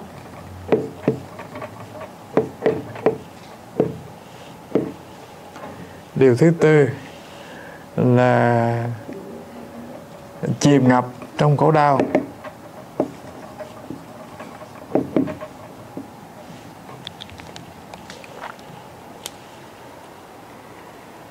Mình không bao giờ dám đối diện với những cái trạng thái tâm thức mình nó đang sinh khởi. Ví dụ như trạng thái tâm thức đó là cái cơn nóng nảy của mình đi. Đó là cũng một trạng thái khổ đau của tâm thức. Thế nhưng mà mình không có dám nhận diện đó, không dám đối diện thực sự mình làm một việc rất bình thường là cái cơn giận mà nó khởi lên là mình tìm cái người gây ra cơn giận. Đây là một cách trốn chạy hữu hiệu nhất mà ai cũng làm cả. Cứ tìm cái người gây phiền muộn cho mình và mình đổ hết tội vạ vào người kia nghe. Trong khi nếu tật bệnh nó khởi ra nơi thân anh thì cái điều đầu tiên anh phải trị liệu. Chứ anh đâu phải cần tìm cái kẻ gây nên tật bệnh của anh. Nhưng mà thông thường chúng ta làm cái việc này rất là rất là bình thường. Tâm thức phạm phu ta thích làm như thế này. Gây phiền muộn cho ta. Thưa các vị cái nỗi phiền muộn là một trạng thái bất an. Khổ đau nó đang có trong ta thì cái điều đầu tiên ta cần trị liệu nỗi phiền muộn trong ta. Chứ đâu phải ta cần tìm cái kẻ nào gây phiền muộn đâu. Nhưng mà thông thường thì vì như một trăm người giống như nhau là à, cái nỗi phiền muộn đang có trong tôi trong tôi trong tôi thì tôi phải tìm cái người gây phiền muộn á cái sự giận dữ có trong tôi, thì tôi tìm cái người gây giận dữ. Và thưa các vị là luôn ăn thua đủ với người gây ra nỗi phiền muộn cho mình mà quên một điều rằng phiền muộn này có khi không phải do người ta, mà nó do ai vậy? Do mình suy diễn về người, do mình suy diễn về cái hành động của người ta trong khi, thưa các vị, mình có quyền suy diễn một cái hướng ngược lại để cứu mình nhé. Là này không? Suy diễn theo hướng rất là tiêu cực để hoàn tội vô đầu người ta kìa. Tức là hoàn cái án tử hình vô cổ người ta mình mới chịu. Gây sự là do ông, do chị, do em. Và nếu lỡ không có ai để cho mình hoàn cái án tử hình vào cổ họ thì mình hoàn ở đâu? Hoàn vô con mèo, con chó, cái ly để trên bàn hoặc là cái chổi. Đi vô đi ra mà đụng nó là sanh phiền muộn à, thưa các vị. Cái cửa nhà cũng có thể là cái kẻ gây nên phiền muộn mà mình có thể bán án tử tử tù cho nó. Thế thì cái điều đầu tiên là các vị trốn chạy. Cái việc dễ thứ hai thì các vị là mình không dám nhận diện là mình chối bỏ. Có khi là người ta nói là sao hôm nay thấy chị tội nghiệp vậy? Chị có buồn phiền không? Không mắc gì tôi buồn phiền. Và chuyện này thưa các vị dường như nó xảy ra hầu hết trong đời sống gia đình nghe. Ví dụ cạn là thế này, ví dụ như mình rất là bực bội, rất là bức xúc, rất là khó chịu về cái cách hành xử của chồng mình hoặc vợ mình. Thế rồi ông chồng ông cũng không phải là con người vô tri, vô giác gì đâu. Ông cũng là con người mà. Ông cũng biết rằng là có những điều lầm lỡ ông gây ra cho mình cho nên ông cũng muốn giảng hòa, và muốn xin lỗi. Ông tôi ông năn nỉ rằng là anh có bụng về, anh lỗi làm có phải là gây phiền muộn cho em không? Không, mắc gì? Không dính như nhau cả. Tức là chối bỏ, không chấp nhận cái khổ đau đang có trong tự thân. Và chuyện này vậy như nó được sinh ra từ cái chi vậy? Tự ái, bản ngã, sĩ diện. Và thưa các vị cái nguyên tắc đời sống chưa cần nói đến đạo lý các vị học nghe nguyên tắc đời sống là khi có nỗi khổ đau nơi tự thân người ta phải làm một việc rất thông minh, là cứu mình đi. Mình cứu mình không nổi thì mình làm gì? Cầu cứu người khác, phải không? Cầu cứu cầu cứu người khác là cầu cứu ai vậy? Đâu có phải là đạp gai rồi các vị kiếm cái gì khác, các vị lấy gai được, các vị phải dùng cái gai lấy gai chứ cái người gây khổ đau cho mình, cầu cứu ngay người đó đi. Là chắc ăn nhất được không? Sĩ diện ta ta đâu cho phép mình năn nỉ với người. Tôi đang khổ lắm, anh làm khổ tôi đó, anh có biết không? Không hề. Đây là cái dạng cố tình chối bỏ do sĩ diện, do giận hờn, do căm tức. Cho nên, ngoài trạng thái khổ đau nó còn một trạng thái tâm hành gia cố nỗi khổ để cho nó tăng gấp nhiều lần là chi? Giận dữ bực bội, bất an, thù hận á. Ngoài cái khổ đó còn một cái thù hận căm tức. Còn thưa các vị, một trạng thái khổ thôi, người ta đã có thể chết rồi, mà chồng thêm những cái thứ như là giận dữ, căm tức, ganh tị. Thế thì làm sao mà sống được giữa cuộc đời? Nhưng mà người ta cố gắng làm điều này cố gắng làm điều này. Lạ, có người họ tự hào họ thông minh nhất trong cuộc đời này so với loài động vật nhưng mà đôi khi họ thua loài động vật xa nghe. Loài động vật có bị biết rằng nó giận nhau nó làm gì không? Đánh nhau chí tử. Và khi nó cảm thấy đánh thua rồi thì nó làm sao? Cúp đuôi chạy. Và nếu cái xung lực trong trong nó mà còn xung động đó, thì nó trong cái quá quá trình chạy thì nó đập cánh nó gáy một vài tràng giống như mấy con gà nó đá lộn á mấy con ngỗng nó đánh nhau đó. Thưa các vị, nó đánh mà thua rồi, nó quay lưng ra thì nó hót một tràng dài vang tiếng hót rồi nó đưa người lên cao và cất cổ lên, đập cánh một tràng vậy đó để nó giải tỏa hết cái năng lượng súng động đang có trong tự thân. Cho nên đâu có cơ con động vật nào đi bác sĩ tâm lý trị liệu. Chẳng có cái nhà thương niên nào để cho động vật nó đi vô đâu. Chỉ có con người thôi nghe điều thứ ba khỏa lấp thưa các vị, cái tội của chúng ta là cái sự căm hận của chúng ta. Chúng ta chôn nó trong một góc của tâm thức. Chúng ta vinh vào, chúng ta mượn nhiều cái nhiều cái trò tiêu khiển, nhiều cái thứ để che lấp cái nỗi khổ của chúng ta chúng ta nghe nhạc, chúng ta đi tới bạn bè, chúng ta vui chơi, lễ hội. Nhưng mà cái phần khổ đau nơi tâm thức, các vị nó vẫn còn nguyên, cho nên có vì lý do. Các vị giữ hết buổi hòa nhạc này đến buổi hòa nhạc kia mà cái nỗi đau nó được giảm nhẹ đâu và càng trốn chạy thưa các vị, thì khổ đau nó càng đuổi sát lưng các vị nghe và cuối cùng thì có những người, thưa các vị họ không vận dụng bốn ba phương pháp trên, họ vận dụng cái phương pháp là để cho nỗi khổ đau nó nhận chìm họ. Họ quằn quại trong nỗi khổ đau. Họ mời hết những kiếp của họ về nỗi khổ, tràn về để họ tự quỷ đời họ. Đây là bốn trạng thái tâm hành. Đây là bốn trạng huống mà tâm thức phàm phu chúng ta dễ vướng vô vô cùng là vậy.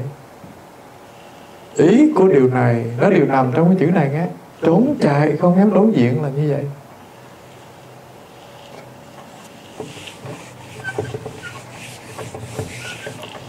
Thế là phần thứ hai, phần b.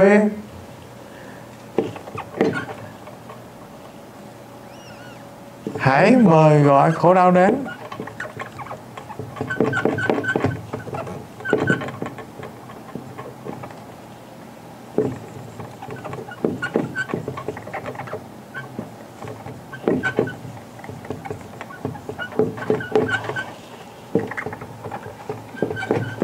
Thưa các vị là nếu mình có gan, mình thử làm một lần là mời khổ đau nó trường mặt ra thì cái điều tự nhiên là khổ đau nó biến mất. Các vị thử làm một điều là khi có nỗi đau nào nó tràn dậy trong tâm tới các vị. Các vị mỉm cười nhận diện rằng là mi là khổ đau đó ư mi hãy trường mặt ra cho ta nhìn thử. Mình trầm tư lại, lắng lại, tỉnh lại, không dùng nhiều kế sách để chạy trốn, để khóa nấp kiếm người, gọi là giáo giác, kiếm người để đổ tội vạ mình thử làm một việc là, ta đang bệnh đây, ta đang khổ đau đây. Thì ta trị liệu liền một cách là mời nó ra. Giống như là những bác sĩ khi họ gặp các vị là họ điều tra tới nơi về về về cội nguồn của bệnh này và khi họ điều tra xong đấy rồi thì bệnh nhân tự nhiên là cảm thấy yên tâm là một, cảm thấy dường như bớt bớt hơn 50 phần trăm bệnh này nghe không biết các vị có gì không, nhưng thường thường cái tâm lý bệnh nhân là gặp bác sĩ, mà khai bệnh xong rồi là giảm hết 50 phần trăm bệnh. Hỏi liễu rồi biết. Ảnh tra gạn bệnh nhân tới anh tra gạn đủ hết. Thế rồi có khi ta gạn xong, làm hồ sơ bệnh lý xong, cái ta đi về mất hết bệnh rồi. Từ điều đó trở lại cái việc chúng ta nói, thưa các vị đây là một pháp hành trì không phải là một một lý lý thuyết nghe khi mình có thể trầm tư lại, tỉnh tại lại, lắng lại để nhận diện rằng cái gì đang làm ta khổ đau đây? Khổ đau ơi mi ở đâu vậy? Các vị hỏi mình một câu vậy dỗ lòng, các vị mời gọi nó ra thì tự nhiên các vị thấy rằng là ta dừng lại trong trạng thái tâm là sẵn sàng đối diện với khổ đau và khi các vị sẵn sàng đối diện với khổ đau, thì cái điều đầu tiên tự nhiên đó là các các vị phát sinh năng lực nội quán trước rồi đã. Phát sinh năng lực nội quán rồi đã và khi phát sinh năng lực nội quán, thì các vị là nguồn năng lượng chiếu sáng và các vị giỏi mắt, các vị nhìn quanh thì khổ đau nó liền biến mất. Và nếu nó chỉ, nếu nó còn lại, nó chưa chịu biến mất, thì nó trở thành cái chi?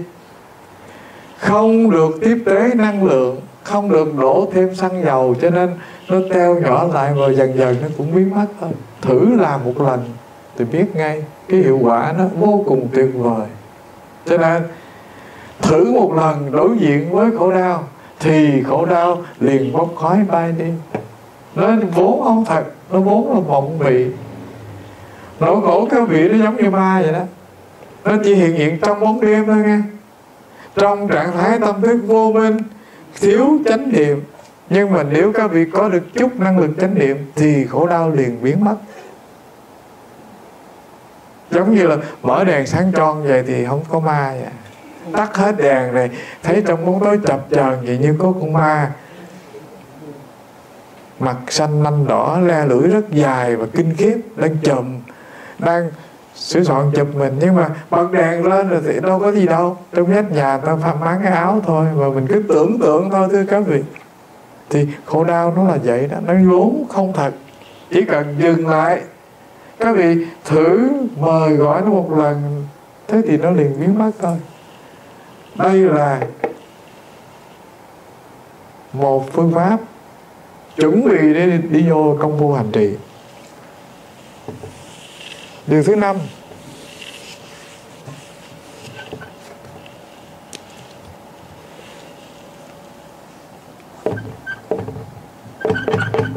Vô pháp hành.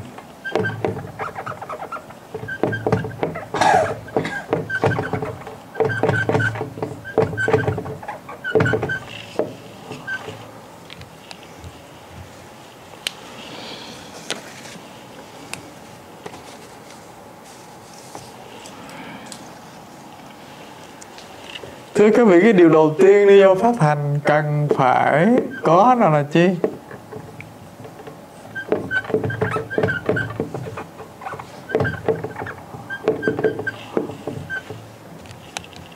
Cái điều rất là cần đó là các vị có được cái năng lực á củng cố năng lực của mình trước, tại vì không có nội lực, không có năng lực. Thì không có cách chi các vị nhìn được, nhận diện được cái phù du, mong manh của khổ đau đang dày dò dày xéo đang hủy hoại ta cả.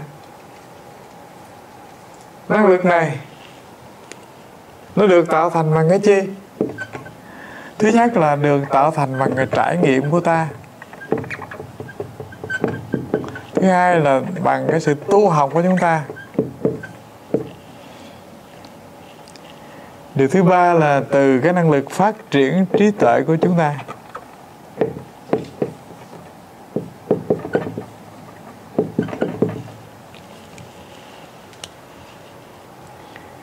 thưa các vị là đầu tiên, các vị có cái năng lực có thể hiên ngang, vượt ngang khổ đau là cái căn bản là ta có rất nhiều trải nghiệm về điều này.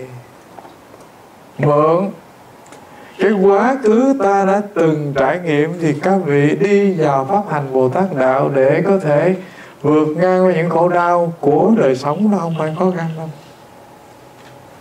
ai sống tới tuổi 40, 50 trong đời thưa các vị đã từng trải nghiệm qua những khổ đau đã từng đến với ta nghe. Đã từng thắt ruột thắt gan về khổ đau nào mất của nào mất mất gì mất người thân nào mất tình cảm. Nào là bị du khống nào là bị miệt thị bị chà đạp bị quỷ nhục và chuyện này dường như là ai cũng một lần hoặc đôi lần xảy ra. Từng nếm trải khổ đau là chuyện rất bình thường của cuộc sống con người. Ta chưa phải là hoàng đế, chưa phải là thái tử, chưa phải phước lực nhiều, chưa phải là người cực sáng giàu. Thế thì cuộc đời này, thưa các vị, cái chuyện khổ đau nó vô cùng bình đẳng, nó không biết sợ ai đâu thế thì, thưa các vị, từ cái nỗi, từ cái trải nghiệm của mình trong quá khứ, mình nhận diện rằng là những điều này nó từng đến với ta, rồi nó cũng đi qua. Thế thì, các vị, có được cái nền này, các vị nhận diện tất cả những điều sẽ tới cái gì nó cũng như vậy mà thôi. Điều thứ hai, thưa các vị, cái trải nghiệm này nó cho chúng ta một cái định ngữ rằng là cái gì chưa tới thì nó tới, và cái gì tới thì nó đi qua phải không? Ví dụ như, khổ đau nó chưa tới thì nó sẽ tới mà nó tới rồi để nó đi qua chứ không có lý do gì nó ở lại cả. Thế thì khổ đau đó đang có, ta cũng mỉm cười nhận diện để nó đi qua. Khổ đau nó chưa tới thì nó chưa tới, mắc gì đâu mà lo với sợ. Còn cái nó đã qua rồi thì mắc gì đâu mà mời gọi nó lại để tự hành hạ mình và cái điều này khi chúng ta có được chút năng lực học Phật thì thưa các vị cái trải nghiệm thì, thì cái năng lực học Phật này ta nhận diện về những trải nghiệm ta rút ra những bài học thì ta đối phó được ta vươn ngang được ta chấm dứt được những khổ đau đến với đời sống ta rất là dễ. Đây là bước thứ nhất. Các vị có được chút trải nghiệm thì điều này thưa các vị mình tự xác định cho mình một pháp hành để có thể vươn ngang được nhiều tầng khổ giữa cuộc đời này. Điều thứ hai là khả năng tu học của các vị. Nó cũng làm cho các vị có khả năng quán chiếu, nhận diện để làm cho trải nghiệm của các vị nó trở thành bài học hữu ích nghe còn bằng không thì mà không có sự tu học thì những trải nghiệm mình đã có nhưng mà nó không trở thành những bài học thậm chí là mình quên mất. Thậm chí mình không học được điều gì từ những trải nghiệm khổ đau cả. Hoặc là từ những trải nghiệm trong quá khứ mình đi ngang qua như phiền muộn, như bất an, như tự cứu đời mình mình cũng không học được. Cho nên, bước thứ hai này nó vô cùng quan trọng là cái năng lực tu học của các vị. Nó vừa làm cho quá khứ các vị thành những bài học hữu ích. Nó vừa làm cái điều tuyệt vời là nó phát triển được năng lực trí tuệ của các vị. Khả năng tu học là rất là cần. Mình học Phật pháp từ ngày. Từ năng lực học Phật pháp, mình có niềm tin với chánh pháp, rồi mình có công phu hành trì ít nhiều. Thì công phu hành trì này, nó lại quay ngược lại, nó làm cái chi?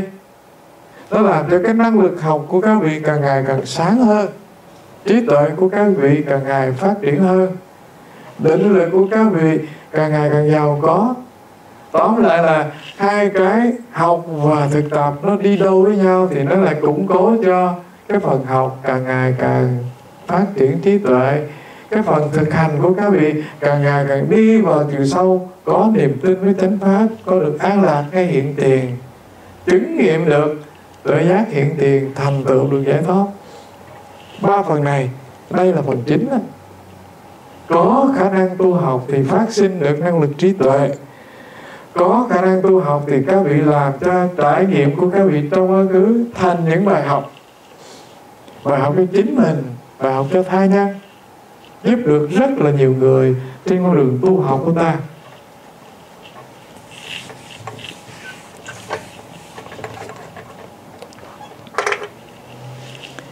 Phần B.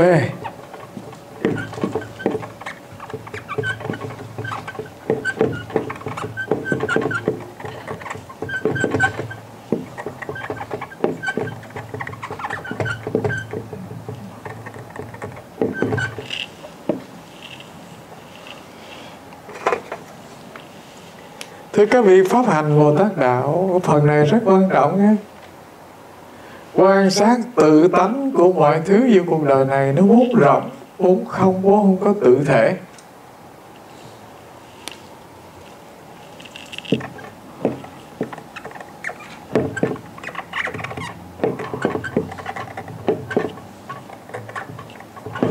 Cái này là nền tảng. Khi các vị có được chút công vô hành trì quán chiếu thì các vị nhận ra được rằng mọi cái vật thể hữu vi nó vốn không có tự tánh thật hữu. Và trong kinh văn thì dùng nhiều cái ví dụ. Ví dụ, thứ nhất là ví dụ chi? Mọi cái thứ hình sắc giữa cuộc đời này như là như là giàu, như là sang, như là đẹp, như là xấu, như là à, khổ đau hay là hạnh phúc bất hạnh vân vân thưa các vị nó đều sinh diệt đều phù du trên cái nền giả lập của cảnh giới phàm phu thôi.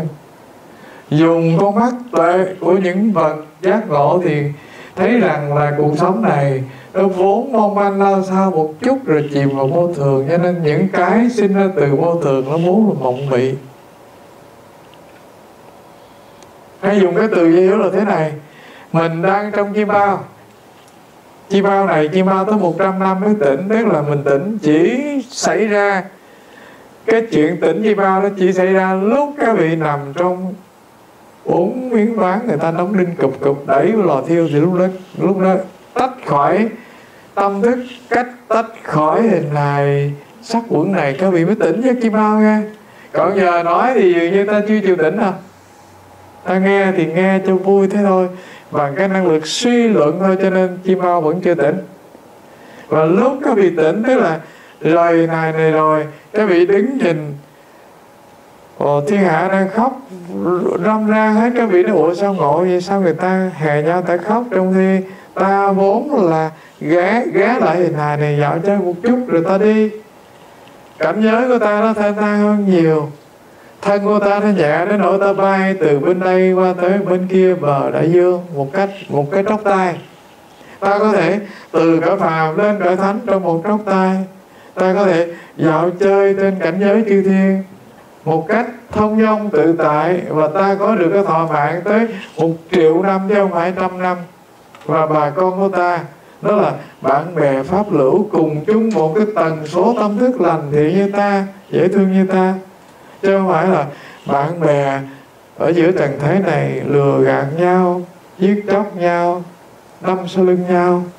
Và những người ta thương thì vô cùng mênh mông lòng ta không ai chỉ thương một người, mà tất cả những người có mặt cùng trong một tầng lớp với ta đều là bạn lành của ta, đều là người thương của ta cả. Cái tâm thức dục nhiễm ở trần cấu ở trần gian này dường như nó rất sạch, nó chỉ còn một trạng thái tâm thuần thiện, yêu thương, từ ái. Và năng lực từ bi nó luôn có mặt, chứ không phải là thương một đối tượng như ta đã từng có mặt trong trần gian này.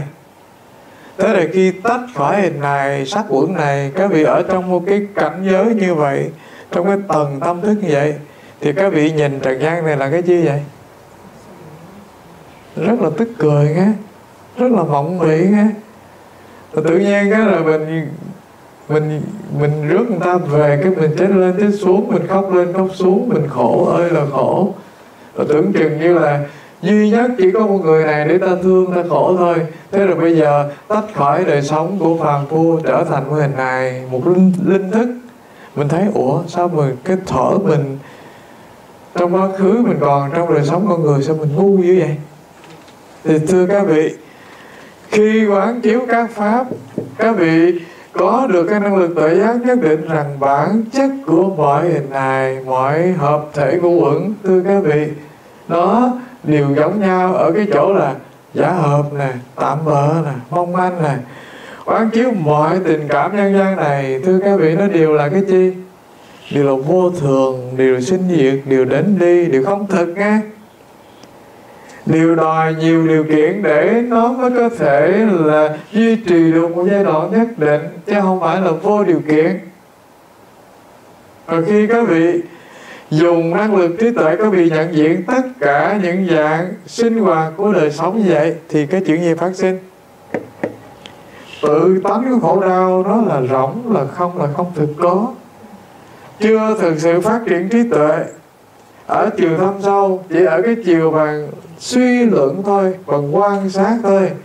Bằng cái tâm thức thầm thì phân tích thôi thì ta đã lấy được khổ đau hết 50% rồi.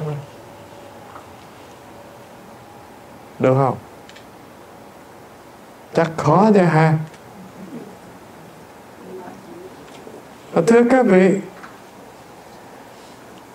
chưa cần nói đến người tu nghe, hãy nói đến những người họ có một đời sống trải nghiệm họ già dặn rồi. Không biết ông gì bên tàu ông có cái câu di chúc. Ông nói rằng là đời sống con người đành rằng hạnh phúc nhất là được sum họp với gia đình được có mẹ có cha thương yêu được có vợ con vô cùng đầm thấm dễ thương. Nhưng mà ta hãy nên nhớ một điều rằng là dù cho sum họp gia đình bao nhiêu năm đi nữa thì cũng có lúc chia tay. Dù cho người ta thương vô cùng tuyệt vời, nhưng cũng có lúc người thương bỏ ta và ta bỏ người ta thương. Lỡ người thương ta bỏ ta ra đi là đừng nghĩ rằng là trên đời này chỉ có một người đó ta mới sống được. Ta phải tiếp tục sống với tuổi già. Chưa chắc gì người duy nhất đến với ta là người mang hạnh phúc nghe có khi người thứ hai hạnh phúc hơn thì sao? Cho nên cuộc đời thưa các vị đang mở ra phía trước chưa từng đóng là bao giờ. Có khi các vị tôi biết nơi đây thì thì ra làm sao nhưng mà thưa các vị có lắm đời sống vợ chồng trong nhân thế.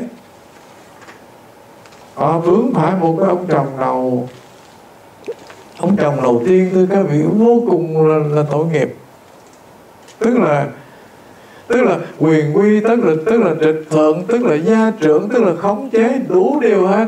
Thế rồi sợ quá, tới chuyện ông nó chết, cái này mà lây quay và nghĩ rằng mấy thằng Việt Nam thì cuộc sống không có sung sướng gì đâu. Thôi, sống bên Mỹ. Có chồng Mỹ. Ở thưa các vị, thì chị khám phá ra rằng là đời sống của những người Mỹ, thưa các vị, dường như là nó tặng cho đời sống của người vợ kia một không gian hạnh phúc, một không gian tự do đâu hề khống chế. Không cần theo dõi. Không cần phải mướn cảnh sát rình đập gì cả. Ưng sao đó ưng và thưa các vị, thậm chí về nhà đó không có nhu cầu bắt phải nấu nướng gì cho nó cả. Ưng nấu ăn thì cứ nấu ăn, còn nó ưng ăn thì nó vô bếp nó nấu. Chị thằng cảm thấy ồ, hóa ra là đâu phải lần đầu tiên gọi gọi là cuộc tình đầu mới là cuộc tình hạnh phúc đâu. Hóa ra là sống với người chồng mỹ hạnh phúc hơn ở việt nam nữa chuyện này có thiệt á. Không phải mình cố tình. Cố tình là, là biếm nhã chi hoặc là cố tình coi thường văn hóa Á Đông là là người con trai Việt Nam. Nhưng mà thưa các vị chuyện này rất nhiều lần nó đã xảy ra trong cộng đồng người Việt chúng ta nghe. Các vị hình dung điều này các vị nhận ra thôi. Chúng ta là những người lớn trưởng thành trong văn hóa Việt Nam nói tiếng Việt thuần. Do vậy chúng ta thích ở vùng này nghe dùng có người Việt đông phải không? Này bác sĩ, này luật sư, này chỗ buôn, chỗ bán toàn là tiếng Việt cả. Thế nhưng mà con cháu chúng ta thế hệ thứ hai, nó không ưa chỗ này nghe. Đa phần, nó học hành xong rồi, nó đi sống với mấy Mỹ, nó đi tiểu bang khác. Không biết mình nói điều này có đúng hay không? Các vị về hỏi con, các vị các vị biết nghe. Nó không thích. Đa phần nó thích bạn bè với Mỹ thích sống ở văn hóa Mỹ đời sống của nó ít có chịu lệ thuộc và ràng buộc đối với đời sống của người Việt đã từng là đã, đã từng trưởng thành trong văn hóa Việt như chúng ta. Nó rất khác nghe tóm lại một điều thưa các vị các vị có một cái tầm nhận thức về đời sống vươn đến một chiều cao các vị thấy là bản chất của mọi khổ đau nó đều không thật nhé nó giả vờ có thể khổ đau với người này thì chết lên chết xuống, nhưng với người kia thì họ mỉm cười. Họ nói, ôi, có chi mà khổ hay đau? Và chuyện này, nó phải là chuyện hiếm thấy trong cuộc đời. Thậm chí với chúng ta thì chúng ta thấy dường như người thương ta quay lưng lại với ta thì ta hoàng hoại khổ đau, chết lên chết xuống. Nhưng mà với người Dạ, thưa các vị, ở đứng cao hơn cảnh giới của loài người một chút, có cái tầng tâm thức cao hơn loài người một chút họ nhìn họ tức cười. Và thậm chí, tôi chưa nói đến tầng cao tâm thức chi, tôi nói từ tâm thức của thầy tu, nhìn tâm thức của các phật tử là tôi đã tức cười rồi nghe. Tôi thấy sao các vị tức cười nhiều chuyện. Ví dụ như cái chuyện không đáng chi cả. Chuyện con ta, chuyện chồng ta, chuyện anh ta, chuyện em ta nó chính chi với mình đâu, mà mình phải khổ vì cái chuyện là nó không nghe lời mình, vì cái chuyện là nó cưới con vợ nó không phải người việt. Có nhiều người thưa các vị rất khổ, tại vì con nó không nghe lời mình. Thay vì mình biểu đó, cưới người việt nó không thèm cưới, nó cứ mỹ thôi. Vì nó có chồng dân việt nó không thèm, nó có chồng mỹ thôi. Các bạn thưa các vị, cái tội của chúng ta là cái tội là mình cứ mãi gắn bó vào tất cả những cái sở hữu xung quanh rời bớt những cái sở hữu của mình, đừng chấp chặt vậy là thứ này nó phải lệ thuộc mình thì đã khổ, bớt khổ rồi. Thế thì từ tâm thức nhân gian, bước qua một cái tầng tâm thức của thầy tu thì các vị thấy nó khác nhau xa vô cùng rồi. Chưa nói đến các bậc thánh nghe thế thì với con mắt có trí tuệ thì tự tánh khổ đau vốn không thật. Do anh ở cái trình độ này cho nên thấy khổ đau là thiệt anh bước qua một cái trình độ khác thì anh thấy khổ đau nó không thật. Thế thôi. Bản chất nó không thật. Nó tùy vào cái điều kiện tâm thức, cái bị vướng mắc ra làm sao thì khổ đau nó thiệt ra làm vậy. Cái bị không vướng mắc với ngũ uẩn cái vị không thấy buồn là ta, lo âu phiền muộn là ta, thì các vị liền đoạn được khổ đau các vị dùng năng lực tuệ quán, các vị là cái nhận biết khổ đau là cái đối tượng bị biết thì đã cắt được khổ đau rồi. Chưa cần đạt đến cái chiều thâm sâu gì hết.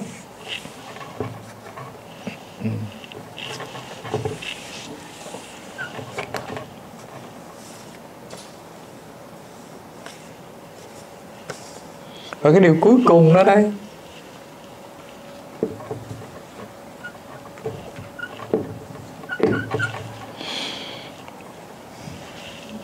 là phát triển.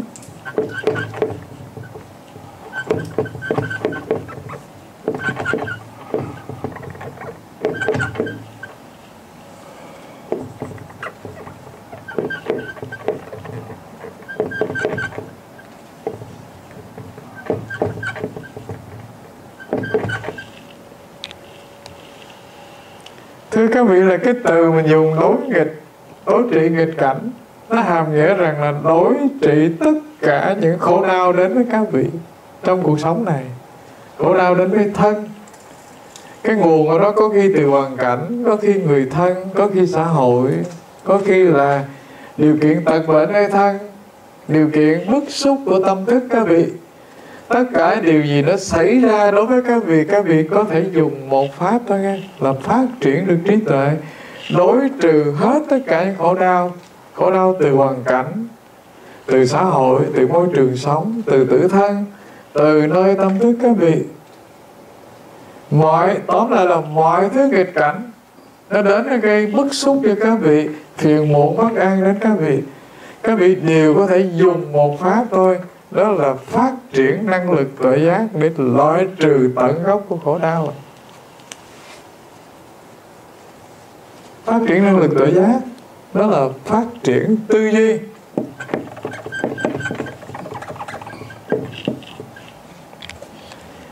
Thưa các vị, trên cái nền của chánh pháp, nó hình thành chánh ý kiến, tức là hình thành cái năng lực tư duy của các vị, quan sát của các vị. Mình biết rằng cuộc đời này, nguyên lý của nó là khổ đau với hạnh phúc là một cặp. Nếu có khổ đau thì có hạnh phúc, nếu có hạnh phúc thì có khổ đau nếu có sự hội họp thì phải có sự chia ly. Nếu có sinh ra thì phải mất đi. Đây là một nguyên lý thực hữu vĩnh hằng trong vũ trụ và hữu, không ai tránh được cả. Và khi mình chấp nhận sự việc như vậy thì các vị dùng cái năng lực tư duy này, các vị dọn được khổ đau rồi nghe. Cái gốc của đời sống là có sinh thì ra đi thôi, có sống thì có chết thôi. Rồi có hợp thì phải có có tan thế thì thưa các vị, ngay cái nền chân lý đời thường này, các vị có được cái tư duy bằng cái chính kiến như vậy thì các vị đã có thể đoạn trừ được khổ đau rồi. Đây cũng là phát triển tự giác ở tầng cạn phạm môn thôi đó. Tầng thứ hai, thiền quán.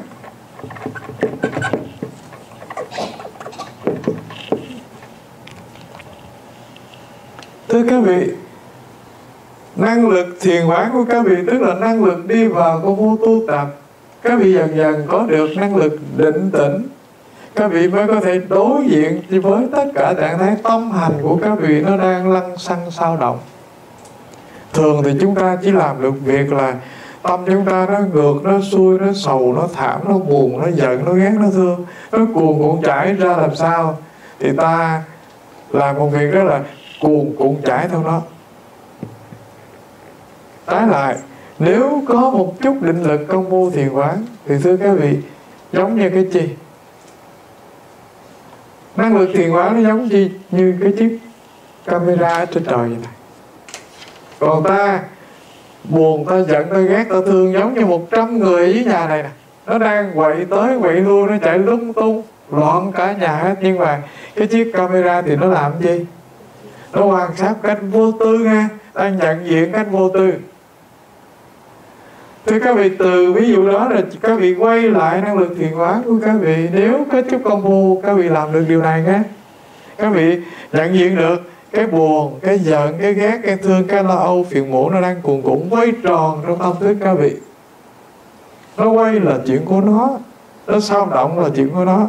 Nhưng mà cái năng lực tâm của các vị như cái chiếc camera bên trên nó đang soi xuống. Nó thu hình toàn vẹn nhưng mà nó không dính chi với cái hình cả. Nó không phải là những cái sao động ở dưới, phải không? Và nó luôn chiếu sáng, luôn yên bình, luôn bất động. Nó luôn phản chiếu mọi sao động của cái căn phòng này. Anh thử làm chiếc camera, thì gọi là đang an trú trong thiền quán và khi làm được điều này thì thưa các vị các vị đang dần dần phát triển được tự giác. Và khi làm được điều này, thì không cần nói cái từ là tôi phải đoạn trừ khổ đau, tôi phải giải trừ, tôi phải chuyển hóa, tôi phải chấm dứt, tôi phải làm chi cả. Tự nhiên là khổ đau không dính chi với các vị cả. Các vị luôn quan sát đó luôn như cái ống kính đang thu hình. Nó đến, nó đi, nó sinh, nó diệt, nó lăn xăng chạy tới chạy lui là chuyện của nó.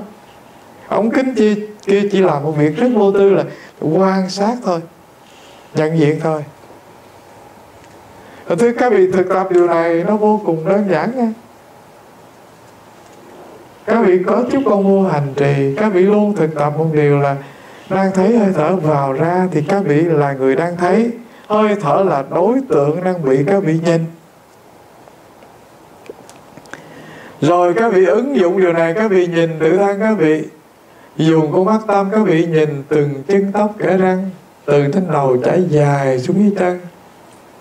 Các vị thử thực tập điều này để đem lại cái mức độ định lực cần thiết. Tại vì khi các vị scan thân này á thì đã, đã nó đã có định lực rồi. Thì các vị nhìn từng lớp từng lớp cơ thể các vị từ trên dưới mà được rồi thì các vị sẽ thấy rằng là định lực của các vị đã dày đã sâu đã có khả năng tỏ sáng để có thể nhận diện được từng cái buồn vui đang sinh đang diệt trong các vị. Thế thì thưa đại chúng, cái pháp hành nó vô cùng đơn giản. Đi vô thiền tập thì các vị có được tự giác. Có được tự giác mới đoạn trừ được khổ đau nghe đoạn trừ được khổ đau đang sinh đang diệt ngay bây giờ. Đoạn trừ gốc rễ khổ đau nó có trong quá khứ, lâu lâu nó tràn về đoạn trừ luôn cái chi. Thưa các vị, nghiệp thức ba cõi sáu đường cũng một lần quét sạch và an trú được trong tự quán này, thành tựu được. Trí tuệ bát nhã, thành tựu được năng lực, giải thoát hiện tiền. Và khi an trú được vĩnh hằng nơi đây không có không có rớt ra rớt vào, thế thì có thể nói một câu là sinh đã tận phạm anh đã thành việc đáng làm đã làm ta không cần trở lại thế gian nữa. Thời cái khì chấm dứt đi luôn. Tan biến vào thể pháp thân lòng lộng buồn khổ bất an không có quyền xâm nhập vào đời sống các vị. Ngay hiện tại đang tu thôi. Chưa phải là phát triển tuệ giác đến tột cùng thành tựu được trí tuệ gì cả. Đang an trú trong pháp hành thôi thì các vị sẽ cảm thấy rằng là một ngày đối với ta dường như nó không có trống trải không có cô đơn không có buồn phiền. Không có phiền não bất an nào, có quyền xâm nhập đời sống các vị cả. Các vị có quyền là làm mọi phật sự trong một niềm vui và với tâm tĩnh lặng. Các vị cũng có quyền không làm chi cả nằm dài thưởng thức đời sống. Lười biếng của mình thôi, cũng tràn đầy phúc lạc nhé. Làm hay không làm, không có gì quan trọng cả tọa thiền không tọa thiền không có chi quan trọng cả. Rồi ngồi kiết già, ngồi trầm hởm mà ngồi chi gì cũng thiền tập được, chứ không phải là phải ngồi kiết già mới thiền tập nhé rồi các vị đi, chậm chậm, cũng thiền tập các vị chạy, cũng thiền tập các vị đi, các vị vừa đi vừa nhảy, cũng thiền tập chứ đừng tưởng rằng là nó chỉ xảy ra trong một cái trạng thái của thân hành như vậy sao hết, không cần nếu đại hương vị chánh pháp có được sự thực tập nhất định, các vị tự nhiên có niềm tin rất vững đối với con đường tu. Và, thưa các vị, lúc bây giờ thì không cần một cái sự tự nương với bất cứ ai cả. Các vị tự là người làm chủ chính mình. Tự là bậc thầy của chính mình. Lấy pháp làm thầy. Lấy đức thế tôn làm điểm ngắm lấy công phu hành trì, làm lẽ sống của một đời này. Thế thì thưa các vị, một đời này đoạn đức được, sinh tử ba cõi sáu đường à. dừng ở đây. Cảm ơn đại chúng.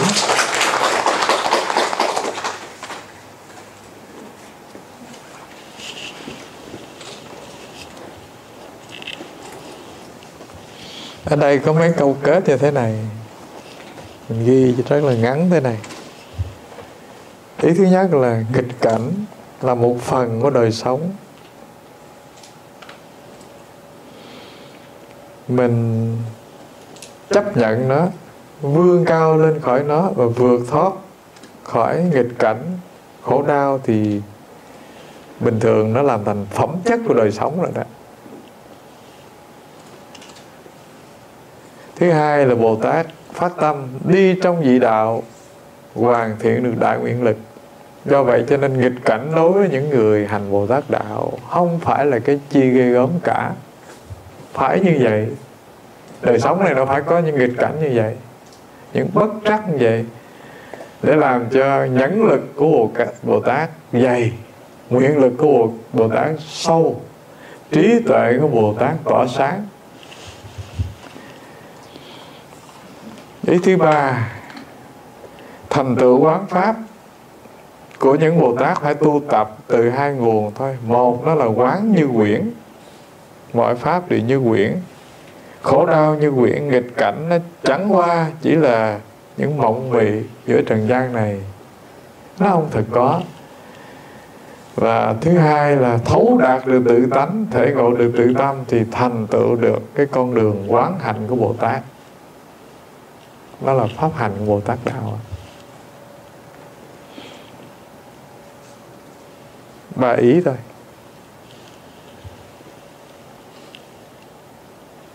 Các vị chịu khó học xong tới 37 pháp này nó cũng giỏi lắm. Nay được 24 rồi. Còn mười mấy mười mấy đoạn nữa thôi. Mỗi bữa học một đoạn thế này cũng hơi hà tiện quá ha. Ừ. Thôi giờ thì mời đại chúng hồi hướng